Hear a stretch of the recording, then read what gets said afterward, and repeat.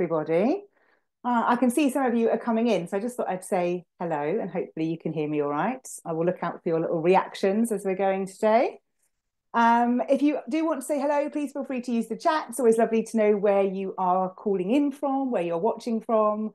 Um, and it's really nice to see so many people that have come in from all over the world already. I can see we've got people from Norway and London and all different places. So thank you so much for joining me today. I'm really delighted to be here with the team at uh, WorkVivo, uh, who have asked me to come along and do some masterclasses with you after we had a really good conversation last year about their values, what they think is important in organizational culture, and the work that I'm doing around leadership and communication. And we became firm friends, I think, after that conversation and felt that it was about time that we started to talk a bit more about the things that will make a huge difference to organizations. And if you've heard me speak before, you know that I always talk about relationships, leadership, communication, and culture. So we're going to touch on one of those today, and that's looking at internal comms strategy. Now, if you've got questions as we go through, please use the Q&A feature uh, and you can add your questions. I'm going to chat for about 30 minutes, 35 minutes around the strategy piece.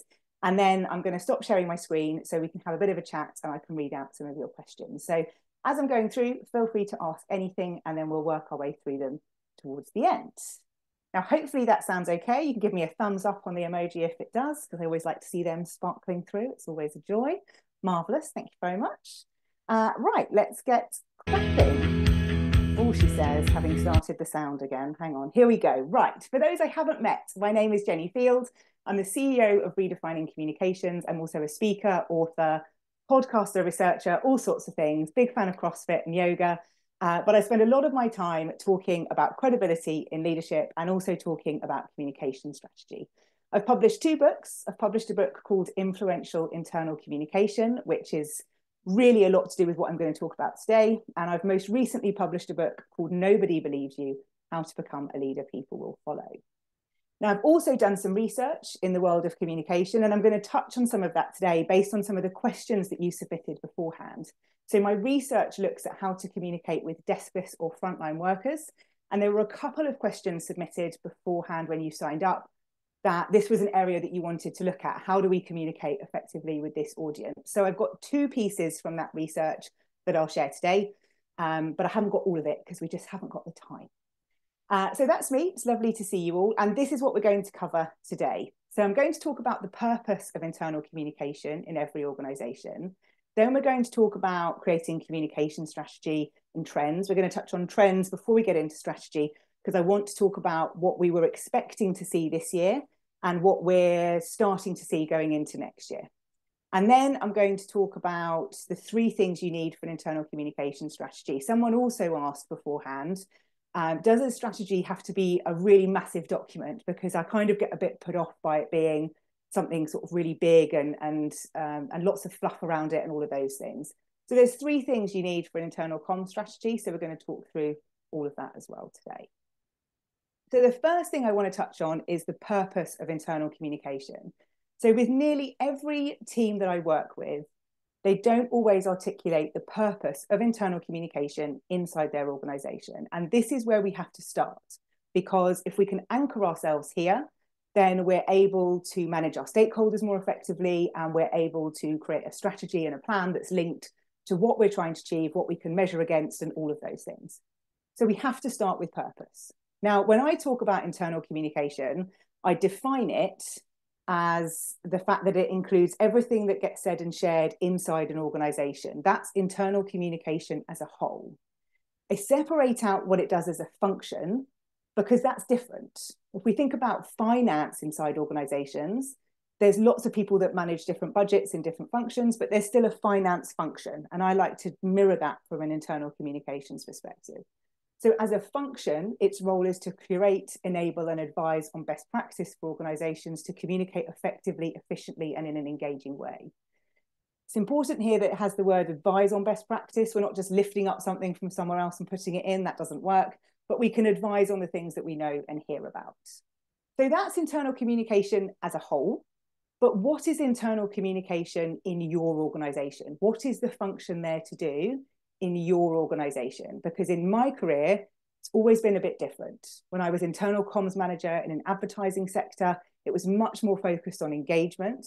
When I was a global head of communications for a FTSE 250, it was risk and reputation.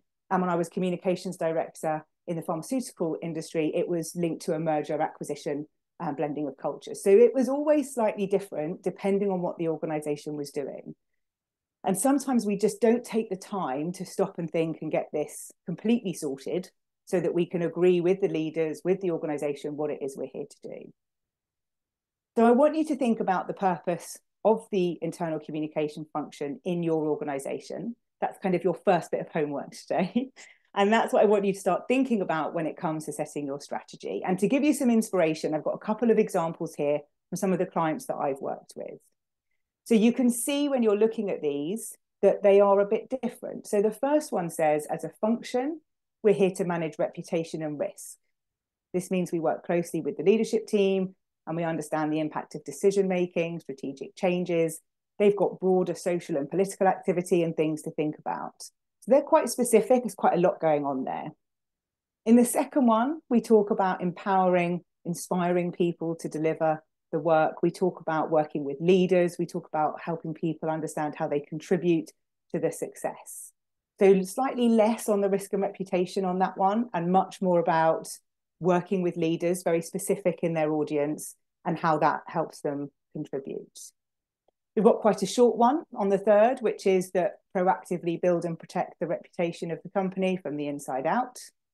And then we've got one that talks about influencing inside the organization, helping people feel connected, included.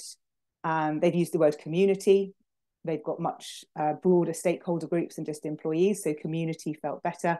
But they also talk about going onto a path to advocacy as a sort of end goal.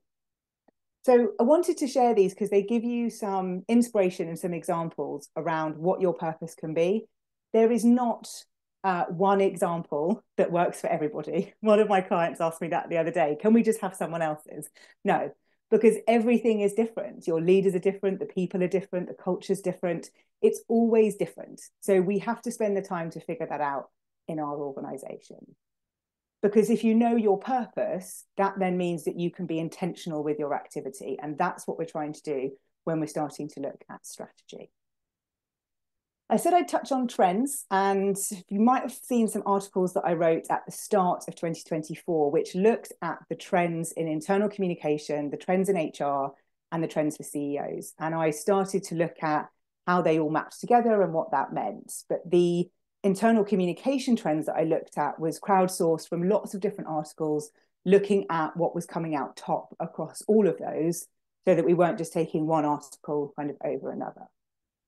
So these were the trends of 2024. And as we're coming to the end of that year, we can ask the question about whether or not those trends have actually been seen. Now, some of this is around um, connecting people in this human sense.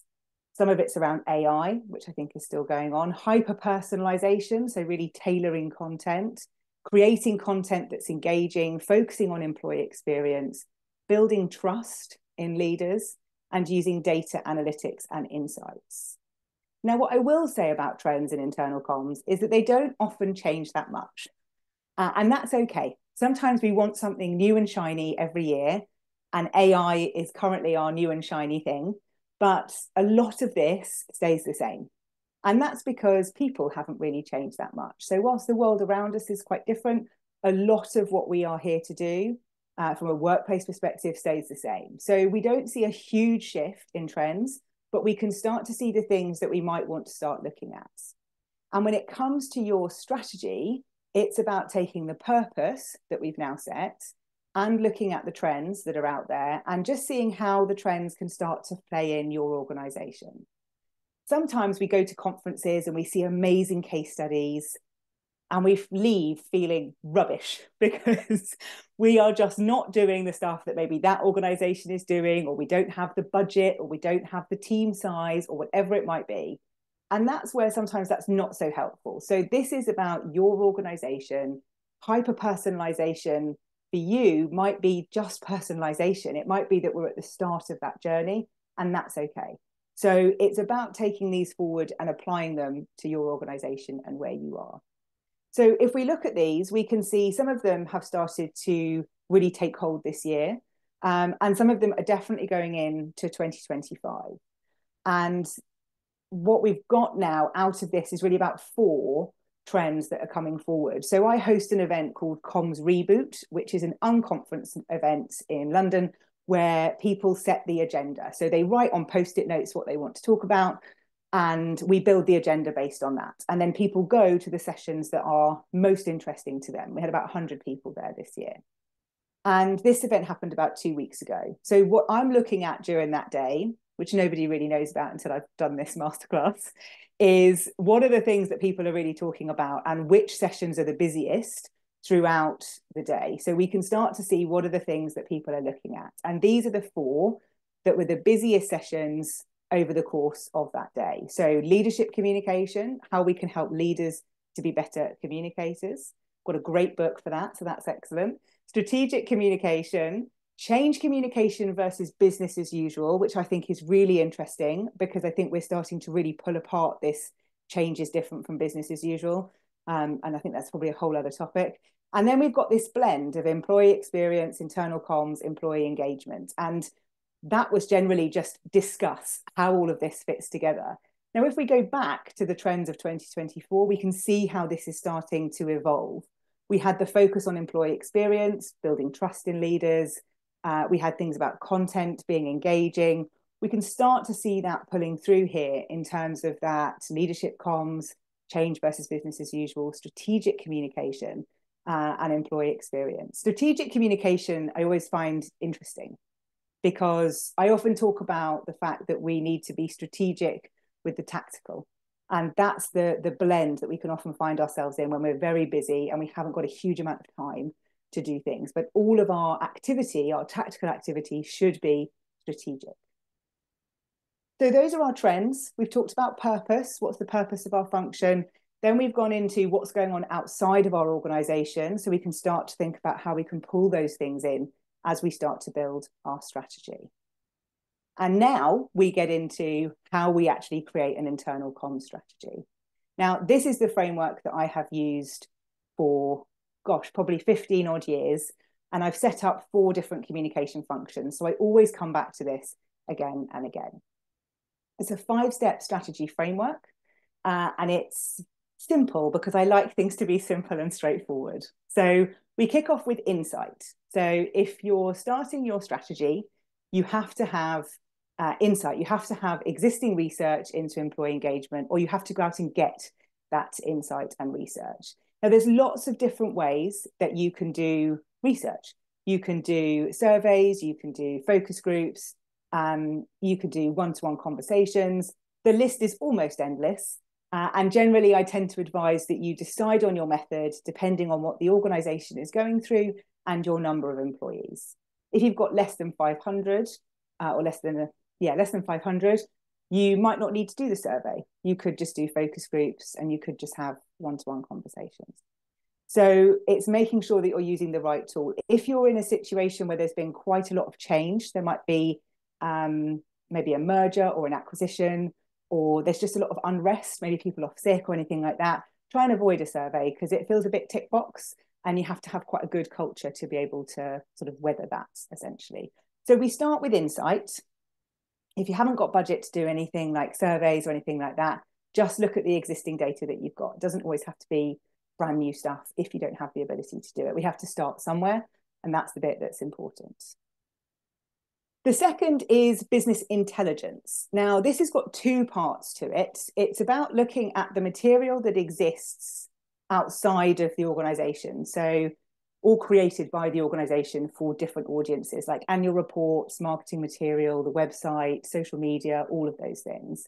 You might also look at things like Glassdoor or other platforms that talk about the organization. But the other half of business intelligence is looking at the flow of communication across the organization. Because if you're just looking at hierarchy or organizational charts, it won't always tell you how things flow and also how things get done. So I'm always looking at operationally, how does this organization work?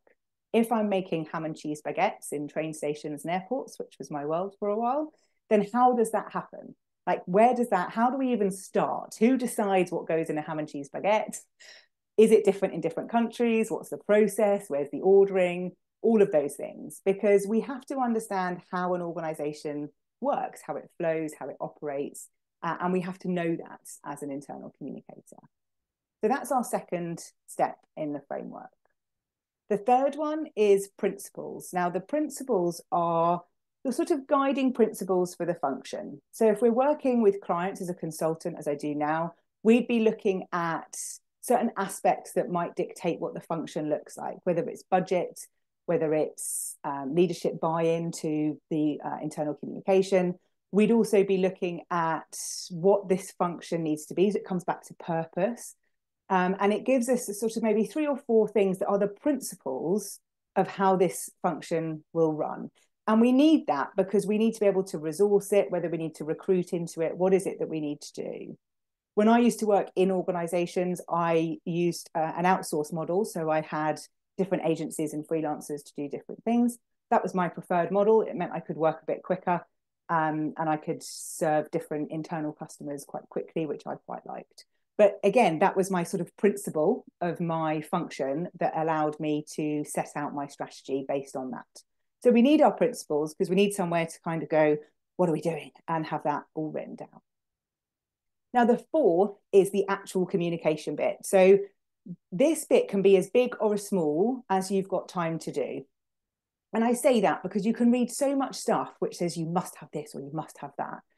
And I will come on to the sort of three things that you need to have, which I sort of talk about here.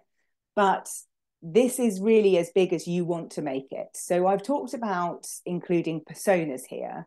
And sometimes we do create employee personas where we'll get data from HR and we'll look at the demographics and the information and we'll create personas for different employee groups.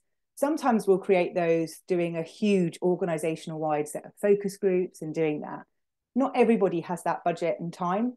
And so it depends on what you can do within your means. There's no right or wrong because we have to start somewhere and moving forwards is better. Progress is much better than perfection. So that's what we're looking for. But if you can start to think about your employee groups, even if you don't have personas, that's important, especially if you've got deskless or offline workers or an international audience as well, because you've just got different time zones, you've got different things to consider. So we should be able to sort of articulate maybe a few different groups of employees that we need to consider. This shouldn't just be line managers. You can start there, but ultimately we want to break that down a bit into line managers that have more than this number of people or manage people remotely. There's lots of ways you can kind of really break it down. What we also want here is a content strategy and a channel matrix. Now, because we've already done steps one, two, and three. We've got that business intelligence, we've got that insight. We've looked at the annual report, so we know what the business strategy is, we know what it's here to do. We've got the insight from our employees, so we know how people feel, we know what they need to be able to communicate well. Those are the things that allow us to create the content strategy. Because depending on what the organizational strategy is, that's what determines what we talk about if people would come to me and say, Jenni, we really need to announce that um, we're now going to paint the walls red. But like, okay, how does it align to our strategy? We've got a five pillar strategy that we talk about. Talk to me about where that fits in there. And they'll go, well, it doesn't. We just want the walls to be red. and I'll be going, okay, well, we're not going to really talk about that because it doesn't really mean anything. Uh, and so it's having those conversations in a really nice way about how does this fit with the strategy. So I always had a briefing template that I would take with people, which would allow me to have those conversations. So I could ask them, you know, how does this link to the strategy? And how do you want people to feel? What do you want them to do? And what do you want them to think? And if you just have those two questions in your list, then you will be able to get that alignment between the communication and the content to the organizational strategy. Now, sometimes you do have to communicate that the walls are going to be painted red, even if it doesn't link to anything, it just needs to be painted red and we're just doing it. And I don't need people to think, feel, or do anything. I just need them to just not touch the walls while we're painting them red. And that's fine, right? Sometimes there are things that happen, but we have to make sure that we are having that conversation. So we need to be asking those questions. And then when we're looking at our content strategy, we might be able to say, right, I've looked at the annual report. There's a five pillar strategy. It's probably operational efficiencies in there and like like sales growth if you work in retail. And then I'll know what we're doing about that. I'll know that there's different projects happening. So I need to go and find out what's going on about those projects so I can start to plan out when there's going to be content for me to share. And that's my content strategy. It involves a lot of time and a lot of conversations. Uh, and that's how we start to build that. And then we can determine whether or not we need to use that using the channels that we have or whether we need to create a campaign. So I need to know that content because then I can create my channel matrix, which will show me which are the channels that I'm going to have inside my organization.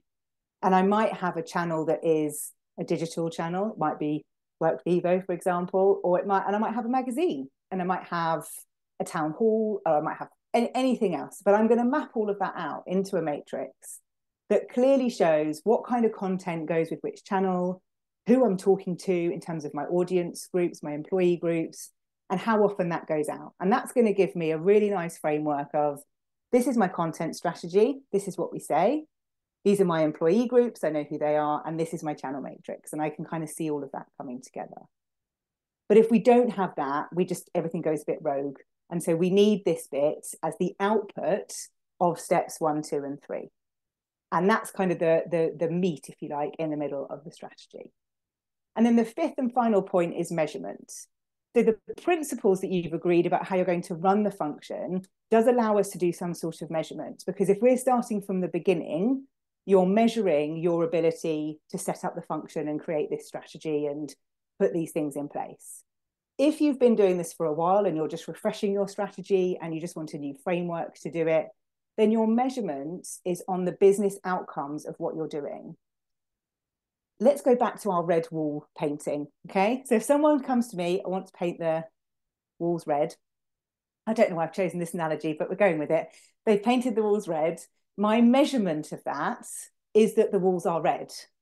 I don't need to know how many people saw the signs that said, don't touch the walls, because the outcome is that the walls are unblemished and red. And that's what I want to measure. And that's what we need to shift a little bit. Sometimes we get stuck in measuring some of the what we can sometimes call a vanity metric. They can still be important and people still like those and people still need them.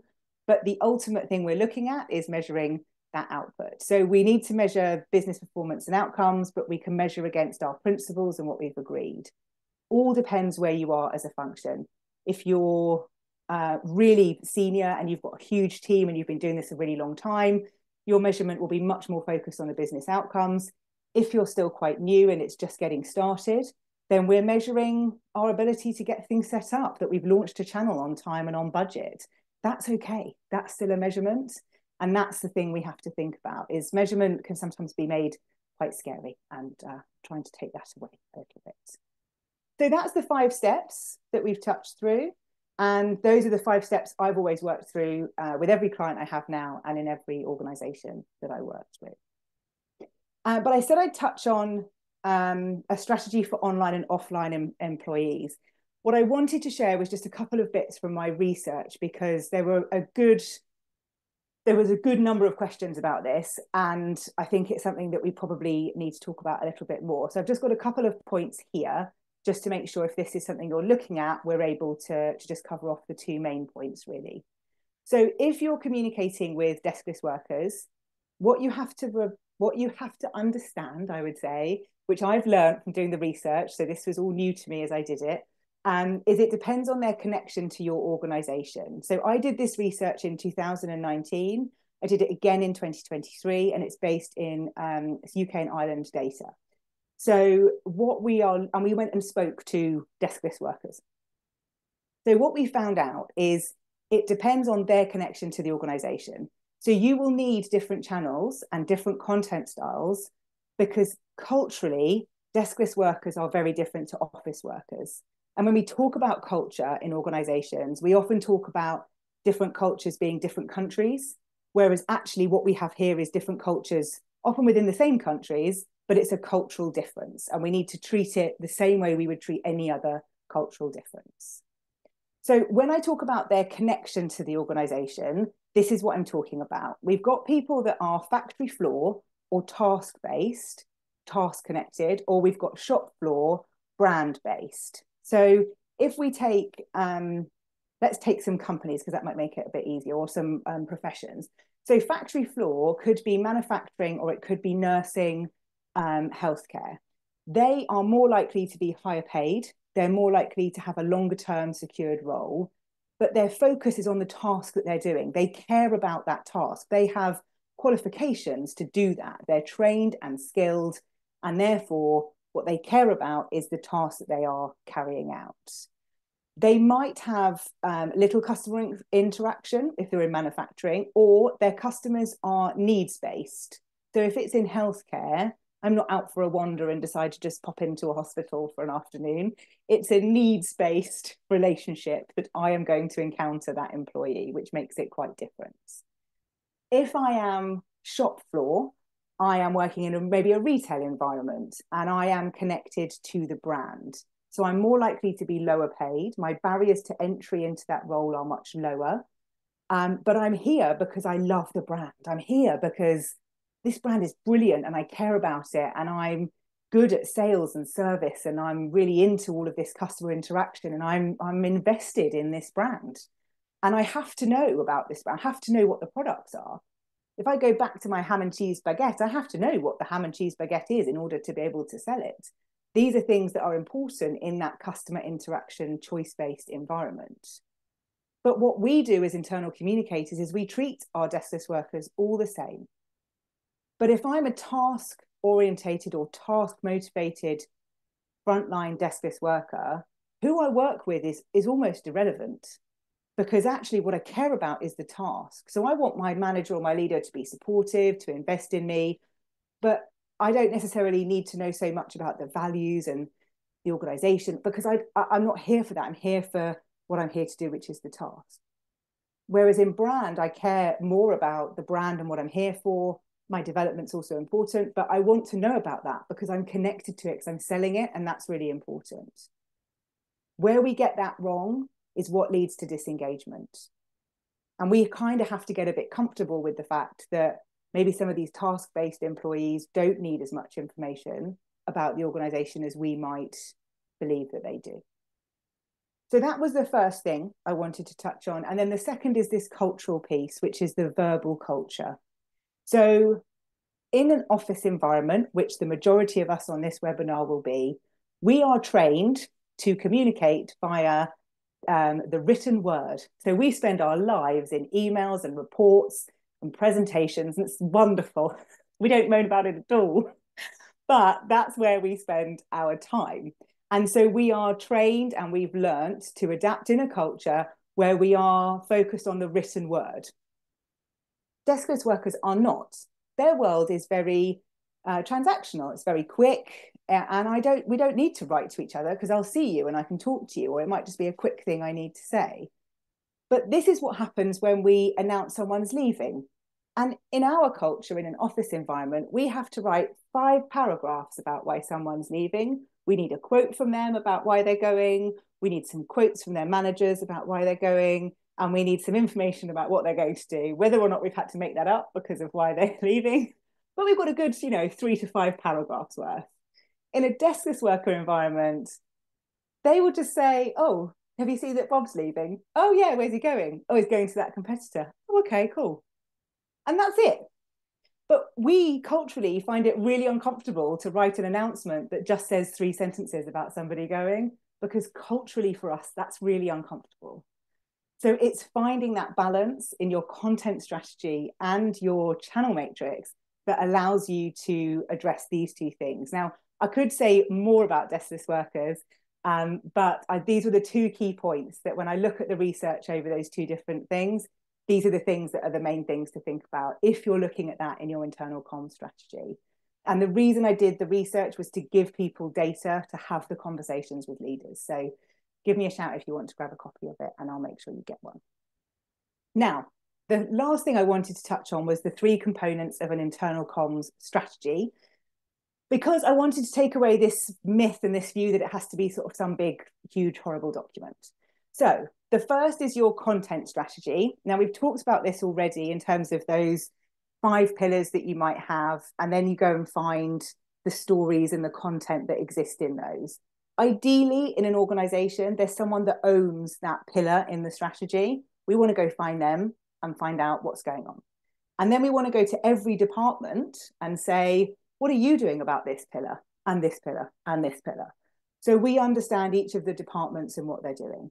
That gives us all of the content that we can then take away to create the content strategy that will enable us to say over the next 90 days, the next quarter, the next month, these are the stories we need to talk about. And that's kind of the starting point. Sometimes we start with channels, but if we can, if it's not too uncomfortable, start with content because your content should drive your channels, not the other way around. But that's a bit of a journey. Um, channel matrix. This is a sort of table that you can use, which has got the channel name, the format, so online, in person, um, print. I was forgetting the other one then, print. How could I forget? It's making a comeback apparently. Um, that shows the format, then the purpose, the content, the frequency, the audience. This document probably saved me on more than one occasion from having to put stories into newsletters that didn't need to go in that newsletter because they didn't work there. They needed to go in a huddle in a team briefing. But having this document meant I could have that conversation with my stakeholders. And that's why this is really helpful. Um, you can also map this out quarterly so you can see which channels are hitting your employees when. This can be really helpful if it's feeling quite noisy. And if it's feeling noisy, it's because the content's irrelevant. It's not that your channels are maybe too many, it's just your content isn't quite right. And then your third one is a projects and activities document. So if you're looking at introducing a new platform, which we sort of talked about earlier, that could be something you're looking at, then that falls under your projects and activities. There's a load of stuff that you're going to be doing as a function that you need to document because someone's doing that in amongst all of the channels and all of the content and everything for everybody else. We're also looking at how to improve line manager skills, or we're rebuilding a, a, an intranet or a social platform, or we're looking at a new crisis channel, or we're looking at a massive event that we have to organize. What are those things and have them documented with kind of owners and different stuff on there. Those are the three documents I always had, and they served me brilliantly uh, in my life and in every organization. And they serve me brilliantly with the clients we work with today. It doesn't have to be any more complicated than that. If you can get these three, then you'll be absolutely fit for success in terms of that strategic tactical blend that we're looking at for what you're doing. Now, I've got a little competition to win a copy of my first book just before we go to Q&A. So if you do want to win a copy of it, and you can win it either um, Audible or you can win it as a hard copy, whatever you like, I'm just going to ask you to share your top takeaway from this session on LinkedIn, tagging both me and Workvivo. You have to do both to be in with the prize draw, I'm afraid. You can't just do one. Um, and then we will do a prize uh, draw on that towards the end of the week. So it's just a little opportunity for you. If you do want to grab a copy, if you haven't got it, that's the way to do it. Now, I want to share the next one before we go to Q&A. So I will be back on the 19th of November for another masterclass because Workvivo and I can't get enough of each other. Uh, and I'm going to be talking about influencing leaders to engage in communications. And I'm going to be touching a bit on my work into credibility um, because, spoiler alert, it's going to come down to your credibility in order to do this. So we're going to touch on that. It's going to get a little bit uncomfortable, but I promise it's going to be great fun. Um, and that's on the 19th. So make sure you sign up for that one. And now I get to stop sharing. So I just get to see my own face, which is always excellent. Uh, and I can go to Q&A and see what's come in. So if you haven't asked a question yet, please make sure you do. And then I'll do my best to answer as many as I can. And if I don't get to it and you really want me to answer it, just drop me a note on LinkedIn and drop me a quick DM, and then I will come back and answer you um, over the course of this week. So I've got a bit of time on trains and things. Right. Oh, we've got a few in here. Okay. Let's have a look. Is that a question? Other options, surveys or focus groups to see if employees are truly picking up what we're putting down. But other options, looking for ideas. Okay. So surveys, so if you're looking for ideas of how to collect data, Um, I would do, I don't really do surveys. I'm not against them. Um, but I don't find that the data is always as, as, as good. So I would do surveys first if I was going to do them. Then I'd use that data and insight to set the questions for the focus groups. So you're kind of expanding on those threads and having the richness of the conversation in the focus groups. If you're doing focus groups, you really want two people involved so that you are checking your own bias in terms of your interpretation and you've got someone to kind of take notes if you're facilitating, which is helpful.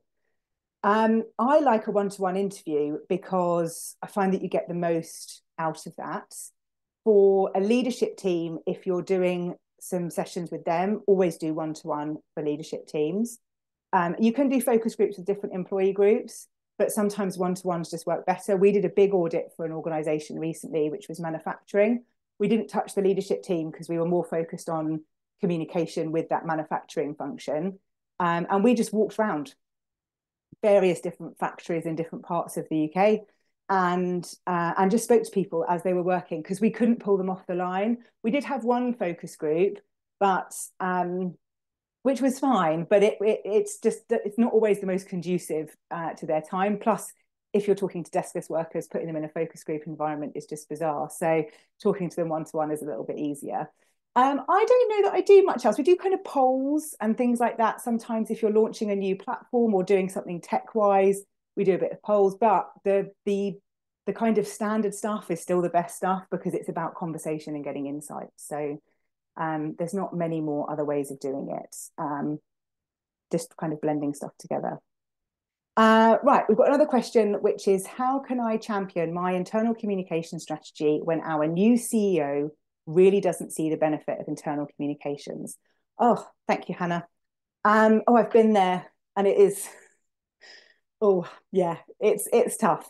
So, uh, so when I had this experience, and I can only share with you what I've done, and it worked. So I'm working on the basis that I'm hoping it will work for you.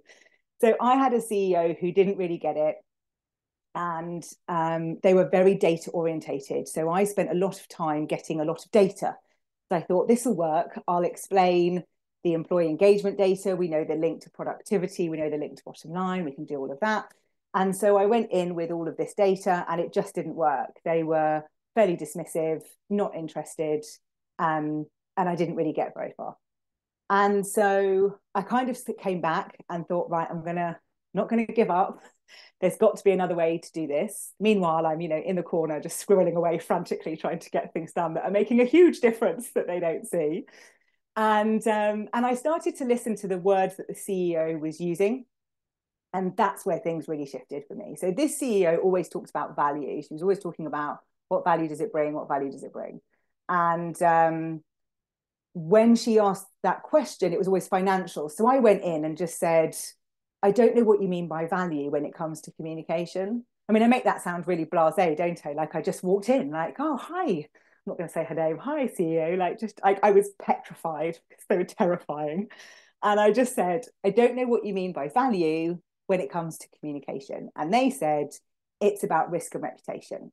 So having that very brief conversation meant that I could pivot how I was talking about communication to them. So rather than me going in and saying, look, we need to deal with the team in America because they're not engaged in our digital platform and I need them to use it and they're just not getting it and I need to go and see them because they're just not getting it and it's really important that they get it because you know we need everyone on the platform. And the CEO was like, no. Once I realized it was risk and reputation, mainly risk, I went in and said, there's a risk they're going to spend half a million pounds on a different platform. I think I should go and see them. And they said, get on a plane. Uh, and so the outcome was the same, but my positioning was different. And that's the bit to think about. So if they're not championing internal comms, um, it's because we haven't quite connected that language. So listen to the words they're using, listen to the questions they're asking other functions, and think about how you can answer those questions for your communication function and how you can get that alignment. Um, and and also think about the what would happen if we don't do this. So there has to be an outcome that's bad if we don't communicate, and then you'll start to sort of turn it around. Um, but it's a challenge that many, many people have. Uh, right, I'm going up to the top. We've got a question here from Aoife. Um, how do you manage a global content strategy and channel matrix in a large multinational 22,000 employees, 85 countries with a distributed communications model? Oh, I'm exhausted just reading that employees' feedback. Is there's a lot of noise and they don't know what's important to know. Okay, so if you are working at a global group level, which is where I think you are, we have to be super clear about where our reach can go. So, um, as when I was global head of comms, I'd come up from the UK part of the business, and in the UK business, I had ten thousand people, eight thousand deskless, the rest managers, stores, five hundred brands, so many locations. Um, so I cared about the store managers. I cared about the people making ham and cheese baguettes. I that was who I was cared about. When I came up to a group level, well, I didn't care about them anymore, but I couldn't reach them. So my reach went as far as looking at global campaigns and then looking at working with in-country teams to help them run campaigns linked to those, but also making sure that they had the skills and the right abilities to run communication in those areas. So you, for me, it's about shrinking your sphere of influence and your sphere of control and being very clear about where that sits if people are saying there's a lot of noise and they don't know what it's important to know, that's because the relevance isn't there for the content. If I received information that was everything I needed to know, then I wouldn't say everything was noisy. I'd be like, no, I'm good. I'm fine. If I'm getting loads of stuff that's not relevant, then it's noisy. And that's what it is. So I would have a look at the content and how that's being personalized out into different places because that's possibly where we could probably tidy some things up. But I think you've got to come back a bit to look at actually what what can you influence and what can you control and how can you find that difference it, it's always tricky working with in-country partners because sometimes you don't have people in different countries doing comms so we have to be realistic about what can we actually do and what can't we do. And sometimes we just take on too much. So um, that would be my advice and hopefully that does help. Um, right, we've got another one here, which is um, someone's just said, but in healthcare, the brand is often critically important to frontline workers. It is, but it's often the brand of it being the NHS, or and I don't know much about the US, and the research was done in the UK and Ireland, but it they are likely to work in that space because of maybe that they live nearby, or maybe that they um, can get there easily if it's different in the US and it's much more about I want to go and work for that particular healthcare area and I'm going to move and I'm going to commute and do that, then yes, there is that there. But their connection to the task will still be a lot higher than somebody working in retail. So it's more about their ability to do patient care and things like that than it would be about the organization's brand values. So that's just a little bit different in terms of that. But I don't know enough about the US to kind of link that through. And I'm assuming it's just a little bit different over there. Um, right, we've got another question, which is how do you convince, this is from Brenda, how do you convince large organizations with a lot of task-based workers to resist the urge to over-communicate with emails and the written word? Um, well, I think you should come to my next session, Brenda, where we're going to talk about influencing leaders. So this is uh, a challenge we all have because everybody thinks what they have to say is the most important. So what I'll talk, what I'm, I haven't done my session yet for the next one, but what I'm going to talk about is, uh, based on this question, is that the six skills to impactful communication and how we can help leaders understand those six things. Because actually, if we can do that, that's how we start to make a difference. And one of those is it's not about you, it's about them. And and that's the first lesson you learn in terms of impactful communication. So if we've got organizations that are trying to send a lot of information out then we have to come back to what is the outcome you're looking for? What do you want people to think when they've read this? What do you want them to do when they've read it? Or how do you want them to feel when they've read it? And it might not be all three it might just be one but what is it you want them to do? And if you can ask that question then it will stop people communicating as much. Um, sometimes we can become a bit of a post box just because we're busy. So we'll just say, yeah, that's fine. Yeah, that's fine. But if we could just ask that one question, we can start to just stop that tsunami of content coming over uh, and, and just making sure that we're protecting those people who have got a lot to do.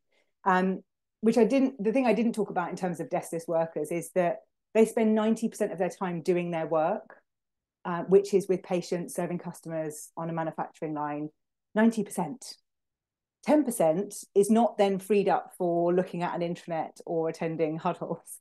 It's, you know, it might be their breaks, it might be their shift briefing, but their world is their work and our work is at a computer. So it's just being able to articulate some of that that would help. But if we're over communicating with emails, written word, then I would start to use AI, Chat GPT, if it's bought and it's secure, to kind of reduce it down and, and help people think about how you can reduce that content or do it differently. Um, video, um, oh, I've lost my tr- uh, video images. That's where I was going. Couldn't think of the word then. Video images, that sort of stuff. That would be really good. Uh, right, let me go back up to the top. Um, let me have a look. What haven't we answered? Um, We've got one here from Emily that says, How do you get employees to click and read information? We have a lot of warehouse workers who do not open emails and texts and read the information sent out to them. What would be a good solution to this? So, this is a really good example. And I can't talk to you, Emily, but I'm going to ask you some questions back for you to think about. Um, so, why do you want them to read it? So if it's something that's been emailed to them or texted to them, what is it you want them to do? How urgent is it? And what happens if they don't read it? Because if we're communicating because we're sort of ticking a box, we've got to get stuff out, and they're not reading it, so kind of so what? Do they need to? Is it important to them? Is it helpful to them? And that's what we have to question about the volume of stuff that we're sending out, certainly to the sort of warehouse workers, that population. If it's something that they really have to know, then it needs to go through their line manager. So the research also shows that if a deskless worker thinks that their line manager is a poor communicator, they will think that communication in an organization as a whole is rubbish. So we have to sort of build that skills of the manager's communication skills and use them more. You can't go around it. You just you can't. Um, and even though they might not see their manager that much, you still need them to be that that big um, gap between you and them. But we have to really question whether or not we have to send that communication and how important it is for them to read it. And if it is important, then use the subject line, you know, use different icons or things that help people visually see, I have to read this, so that it's really easy for me to know that. If it is something that they have to read, we used to have an intranet that when we had lots of deskless workers which was um, which was tailored. So it was it was hyper personalized by today's standards to the brand and where you worked, and the store manager would get the access to the intranet. But on their daily digest, um, they would click the news stories that they wanted to print, and then they would it would print that into a PD. It would print that out as a document they could pin on a notice board. So attach something that can be printed and posted up, um, or printed and put on a table in a tea room. Those kind of things still work really really well. Right, how much time have I got? 10 minutes. Let's have a look down the list. Uh, we've got one here that says, do you know any good platform for creating a content calendar or strategy? Well, people are answering this. I love that. We currently use Excel, but we want to look into using a content plan application. Somebody's put Asana. I know a few people that use that. Uh, that was Ricky. Danielle said, I like using Microsoft Planner. Oh, there's loads of people have answered that. I don't need to get involved because um, I haven't worked inside an organization since all these platforms existed. Uh, but we use monday.com in our organization in terms of just managing projects and things that we're doing. Uh, and we did use Trello before that, but that just got too noisy for me. So I think you've got to find stuff and see. Um, but if you're using Excel and it's fine, then don't change it. Like if it's doing what you need it to do, then I just stick with it. Um, question here from Lucia. What top KPIs would you recommend for a monthly internal communication dashboard for a leadership team, given there are no centralized KPIs to align to, align to? Open rates are harder to measure as we don't have access to these. Okay, so what do you want to measure is really the question. Um, because what is it that you're trying to achieve with the channels or the content? So if you um, have got if you're communicating or it's a campaign or it's something that's going out because it's trying to improve trust or it's trying to increase engagement or it's trying to um, demonstrate more transparency, or we're trying to communicate more about the strategy. So we need to check if people are understanding that. Those are the kind of KPIs you can look at. You are looking at things like open rates and things like that don't always help us. Um, but with other dashboards we've seen with clients, they've looked at um, kind of done sort of like pulse surveys or quick polls after uh, events and things like that. So that gives them a bit of a read. But your KPI should come back to what is it you're trying to achieve. If you're just saying, look, we have a, a digital platform and we have emails and we want to measure those, that's where your kind of um, insights piece from your strategy comes in. So doing a bit of an audit to go out and find out whether people are reading stuff and whether they have got information they need to do their job, whether they've got information that they want to do their job. Um, and and how that is all kind of balancing. So if you don't have the ability to gather data, I would do like a short audit, probably t- maybe twice a year, um, and have maybe five questions and use that as your base for your KPIs. And they can be whatever questions you want them to be, um, but you want to look at kind of effectiveness of the channels. So it's you know how often do you open that email? Do you open it as soon as it arrives? Do you open it every week? Those sorts of things. But it would depend on your sort of channel makeup and, and what you've got in there. Um, right, what else have we got in here? We've done KPIs. Do you have a channel matrix you can share? I do have a channel matrix I can share. There's one on my website, which is not helpful now, so don't have the link. Um, but uh, there is on my website under blogs, we do have one in there, but I will do a LinkedIn post tomorrow uh, where I will share the link to that so anybody can go and grab it. And it's just there to download. Uh, it's a lovely table on a Word document, I think. It's nothing very glamorous over here.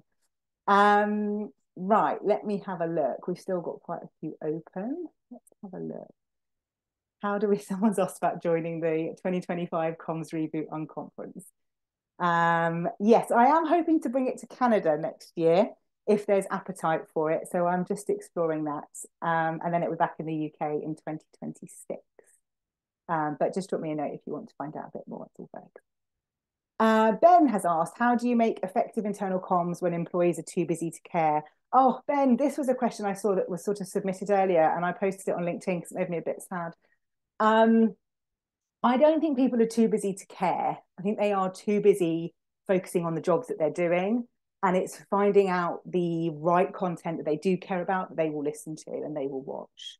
Um, and that's the stuff that's important. So even if we think about all of the content that we consume as just you know normal human beings and all the different places we can get content from whether it's netflix disney plus youtube x linkedin instagram threads i mean there's just so many how we are ever going to keep up is beyond me and we shouldn't because there's just too much but we choose where we want to go to get information based on what is interesting to us and what we are interested in um, and that's very personal to us. And in an organization, I will read the stuff that is relevant to me, that I'm interested in. And that's why the personalization stuff is important. So I'm getting stuff that's relevant to me and tailored to me. So I'm seeing the right information and I am interested in that. And it might be that I don't care about, um, you know, everyone's pets and that there's a, you know, a lovely newsletter that goes out about everybody's pets. And I might not care about that. So I'm not going to read it but there might be a chat about whiskey and champagne, and then I might be really interested in that. I'm going to read it and find out more. So there's something about people's interests and what they're looking at, and it's not that they're too busy to care. It's just that the content alignment to them isn't quite right. If it is a case of I just don't care, and you've got real disengagement in the organization, then if you've got disengagement, you've got distrust, and and that needs to be fixed at the top. So it depends what's driving that. Um, but it's not that they're too busy to care. It's just that they're too busy caring about other things that for them are more of a priority than reading the content that we're sharing. So just a little reframe for you there in case you're feeling a little bit disheartened, um, which can often happen in our world of comms. Right, I think I've got time for one, maybe two more, depending on how waffly I am with my answer. Um, let's have a look. We've got one. What is the best wow, what channels would you recommend for offline workers? We don't have a business email address. That's from Sarah. Um, so there's no one channel, Sarah. this this is a, a, horrible answer to a question that I know you want me to say. Use this channel, um, but I can't, and I can't even say it based on the partners I'm with on this call. Um, there isn't one channel, and actually, the research we did in 2019, we asked this question, and what we found was actually the solution was to pick one channel and do it really, really well, than try and do lots of channels and do them badly. Um, and that's quite refreshing actually because when you feel like you've got loads of different channels in your channel matrix that can feel quite overwhelming. And for the deskless workers it was like just pick one and do it really well. If you had a really good print magazine that worked well. If you had a really good um, app that worked well. If you had a really good notice board that worked well. There is a bit of talk about print um, coming back a bit in terms of that ability to flick through things and the reason that is um, coming back more is because for a lot of deskless workers, they are in environments where there is very bad signal or blocked signal, or they don't have their phones on them, or whatever that might be. But I might be able to go and get a cup of tea and I can flick through something. So that's where that's making um, kind of a bit more of a comeback in other places. And that's why they like notice boards because they can go and get that content rather than it being forced upon them. So yeah, pick one, two, and do them really well. Um, just try not to be all things to all people because that's where it gets a bit tricky. Um, right, have we got any other questions? We've got loads of other questions. I've just got to find. Um, Let's have a look. Let's see if we can do one more. Oh, I could pick. Oh, I've just come across one that's horrible, but I'll go for it. Uh, it's the first one I've come to from Sophie. How would you measure the impact of a new val of new values post launch? I mean, it's a huge question, Sophie. Thank you what a one to end on. Um, so I would say that we would measure. Um, it depends what you're measuring. Is is it that people are now living the values? Is it that they just want to check the values resonate with people?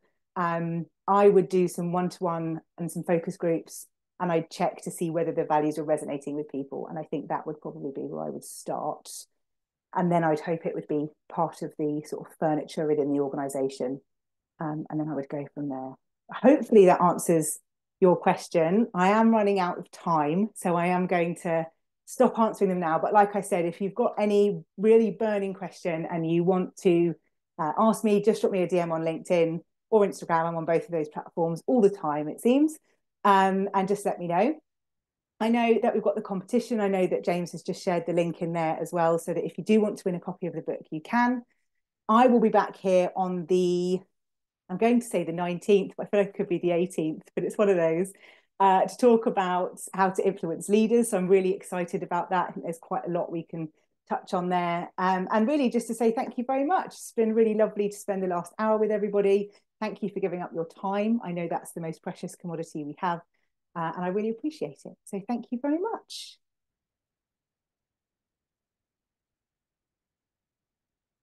Oh, I can see all the little hearts and claps. It's always so nice.